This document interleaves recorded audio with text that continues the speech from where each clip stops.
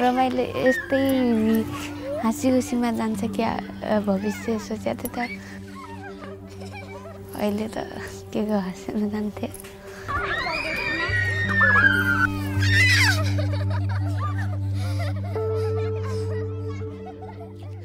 अनि वर्ष चौध वर्ष भयो। मेरो बिहे भएको डेढ साल भयो।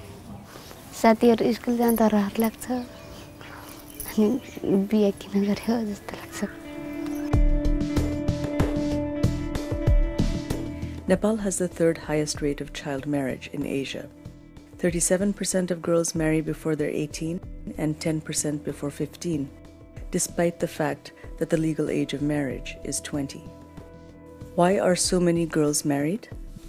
Society is structured in a way that gives women status of second class citizen in most of the South Asian countries.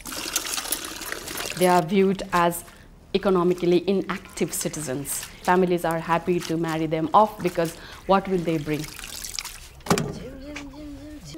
Girls are often seen as a burden.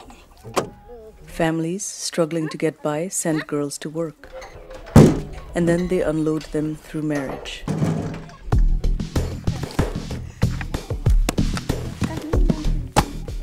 यहाँ मम्मीले काम गर्न चाङ गर्छ चिया बनाउँछ अनि इँटा पार्छ Child labor is common in Nepal, with about 40% of children working. Girls are more likely to work than boys, and most of the children in hazardous work are girls. मैले पढ्न खोजेको थिएँ अझै मलाई बाबाआमाले नपढाइदिएर मलाई पठाइन्छ साउनी दाई साउनी आउनुभएको थियो लिनलाई म रोथेँ जान्न म घरमै बस्छु भनेर भनेको थिएँ त्यतिखेर बाउ अगाडि नै पैसा लिइसक्नुभएको थियो तिन हजार जति जानै पर्थ्यो अनि Girls who work often have to leave school, and once they leave school, they're more likely to get married.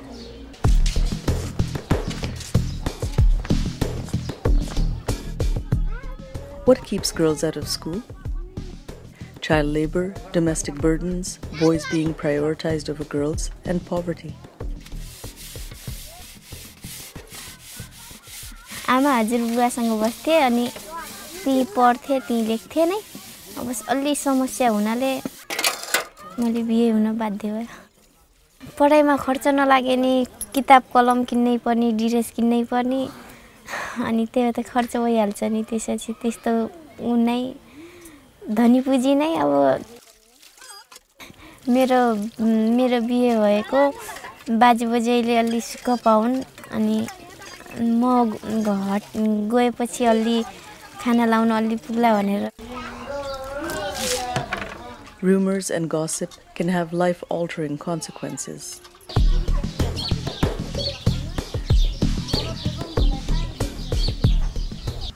मलाई पहिला केटाको जस्तो वास्तव थिएन क्या मलाई बिहा गर्ने नि मन थिएन। मलाई केटीहरूले भन्न थाल्यो कसैले मामी भनेर जिस्काउने माइजू भनेर जिस्काउने कोही भनेर आन्टी भनेर जिस्काउने कोही के भनेर जिस्काउने म त नि कुनामा गएर रुन थालेको थिएँ। अनि यो कुरा फैलेर बिहा गरेँ मैले। त्यसलाई भने ल तँलाई मन्जुर छ मलाई बिहा गर्न भन्दा। उहाँले भन्नुभयो मन्जुर छ। थिएन मेरो केही पनि उपाय थिएन। With a dearth of options, children are choosing to get married on their own, some as young as 12 or 13. In Nepal, these unions are called love marriages, and they're on the rise. Often, they're born of desperation. Children are looking for a way out of abuse or poverty at home, hard labor, or an arranged marriage. त्योसित Nabiha गरे अर्कैसित गएर अर्कै गाउँमा लिएर त्यस्तै भन्थ्यो गाली गर्थ्यो त्यही भएर नि भागेको Whether it's a forced child marriage or a love marriage, the damage to the lives of girls and their families is often the same. मेरो पेटमा अहिले बच्चा छ सात महिना भयो यति सानै उमेरमा अनि यति छिटो बच्चा भयो जस्तो लाग्छ आफैलाई अप्ठ्यारो लाग्छ बच्चाको बारेमा कसरी पाउँछन् के गर्छन् भनेर केही थाहा छैन। तिनवटा दुईवटा बच्चा भएर बित्यो यो तेस्री हो तेस्री बच्चा हुने। त्यही हो तम तिम्रो उमेर सानो भयो उमेर सानो भयो त्यही कारणले बच्चा बित्या त्यो तिमीले पेट पेटमा बच्चा पचाउन सकिएन। तपाईँको पाटेघर सानो भयो। मेरो जस्तो हालत मेरो छोरीको नहोस्। दिजलले किन दिजलले उनलाई यसो धर्म राख्नु भएन।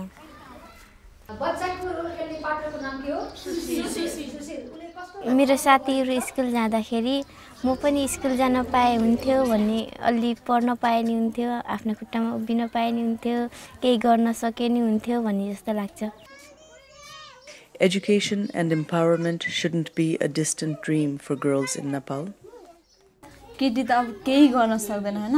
अब एजुकेसन भएपछि तिनीहरूको बराबरीको रूपमा जान सक्छन् होइन? अब तिनीहरू हे- भन्न पाउँदैन नि त। यो मा केटीको जात तलै पर्छ। कहिले पनि हामीसँग मतलब अब त त माथि हुँदैन। अ, कानुनी रूपमा नेपालमा चाहिँ प्रगति नै मानिन्छ दक्षिण एसियामै। कानुनी प्रगति त मानिन्छ तर त्यो कानुन कतिको कार्यान्वयन भएको छ त्यो हेर्ने चाहिँ अहिले बेला भइसकेको छ। हामी हेर्नु पनि पर्छ कानुन कार्यान्वयनको कुरा पनि। Nepal's government promises reforms, but in towns and villages across the country, change is coming far too slowly. The government needs to come up with a real plan and quickly before more children see their futures stolen from them by child marriage.